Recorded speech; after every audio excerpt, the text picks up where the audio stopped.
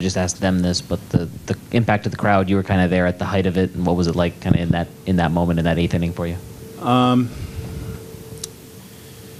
it was a crazy game for sure. Um, you know, we got some momentum early on, and you know we were kind of riding pretty well, and then they kind of tacked on a couple runs, and um, you know, for me, I think you know walking uh, Wong, you know, on four pitches wasn't what I drew, how I drew it up. Um, but to face, you know, Betts and Freeman in that spot, 4-2, um, critical moment in the game. Um, I just tried to simplify it and not make it bigger than it is. And um, yeah, just just a special moment. And I, I got so much respect for that team.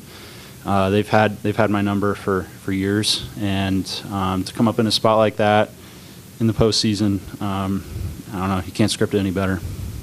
Feels like the whole bullpen is kind of clicking at the right time. Everyone kind of in their roles. What is what has happened to allow that to happen? Um, you know, it's just the momentum, and I think the the the brotherhood. I don't know what you want to call it. Just the love for each other. Um, I think has put us in this spot now, and um, you know, you just feel it. Uh, you know, guys in the bullpen are in it every single pitch. You know, including myself, and um, you know, and swings happen and you know momentum shifts, like we're we're all in, and um, I think there is a there's just a level of excitement and um, newness to it, and so we're gonna we're gonna ride this, and you know we look forward to whoever we play next, and it's gonna be a, a great opportunity. Joined by Brandon Pfaadt as well, so let's go to the back. Evan. Uh, Kevin, you've been here since 2019. Um, there were what three or four guys who are on the team now who were here when you got called up. So you've seen this team go from narrowly missing the playoffs through the trough, then back up to where you are now. Can you describe the, how how all that went, the whole journey?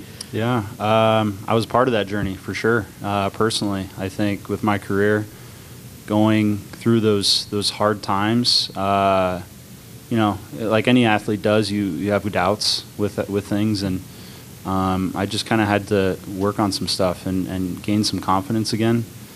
And um, you know, it started last year, and you know, I think propelled me into this year and, and into this spot. And um, you know, nothing's ever been handed to me. I've kind of had to just go out and earn it, like anybody else. But um, you know, I'm, I'm I'm excited, and I think you know this team's got um, a bright future ahead of it, who, for however long it is. So. Um, you know, it's there's there's just a buzz I think with this team. Um, Kevin, in the past, like if you'd have lost a batter like Wong, maybe things would have continued to go downhill for you. Mm-hmm. But this year, time and again, we've seen you have that kind of uh, you know situation, and then you immediately lock it in and, and shut it down. Do you attribute that as much to the maybe the mechanical changes that you made to help you to kind of find your release point again, or is it more mental, or combination of both? Um, yeah, I mean, I've kind of come full circle now. Um, you know, my mechanics and how I've gotten to this spot now is is interesting. Um, but you know, I'm just you know, I'm just proud. I guess you know, it, it's just hard work and grit that has gotten me to this spot. And you know, I don't take anything for granted. Um, you know, I think I'm just I'm more of a mature player than I was a couple years ago. And you know, um, I know I got the stuff. I, I, think it was it was a lot of mental things that I was battling, and um, you know I'm here now, and you know I'm just I'm excited. Hopefully, the, hopefully this team keeps keeps going and we keep rolling.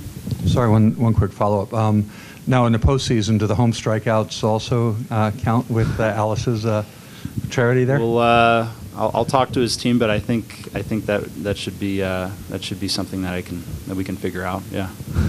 that, that winning this game would have meant. How did you manage to kind of channel the adrenaline and pitch the way you pitched tonight? I think everybody everybody knew it was going to be a sellout, and I, everybody knew that Chase was going to be rocking. Uh, it felt, I said earlier, felt like a different stadium out there. Um, it was incredible to be able to pitch tonight and in front of that atmosphere, and, and hopefully there's many more times to come. How did you manage to be as efficient as you were? Uh, just, I think after the four home runs, it was that's kind of what a pitcher goes out there and tries to do, especially the inning after, try to be as efficient as possible, get the bats back in the dugout.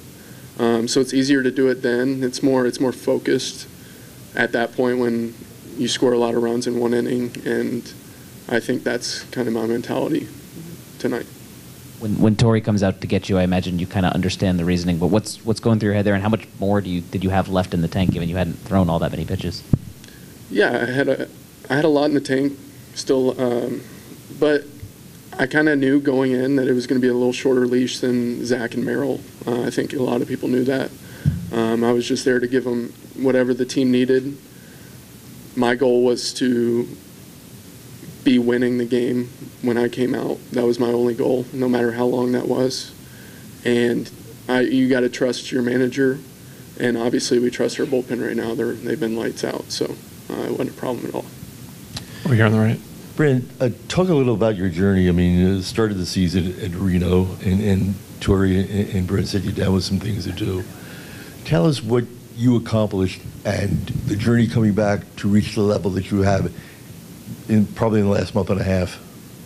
Yeah, it's been a it's been a wild year. Um, I think going down, working on certain things, and coming back up a better pitcher was was the main goal. Um, the first time I got sent down, they were like, "You're going to pitch in, in important games later on in the season for us." So to be able to be in this spot, like they said, is is pretty cool. Anything, uh, Jack and then AJ. Seemed like early on you uh, were using your changeup to keep him off balance a little bit more, and then kind of mix it up even a little further after that. Um, that seemed like a little bit of different uh, approach for you. I don't remember you throwing that many changeups early in the game before. No, um, I think lately we've been more fastball slider, uh, especially, and that's kind of not behind. And uh, I think the changeup helps free that up and and open up those other pitches to help get early outs. AJ.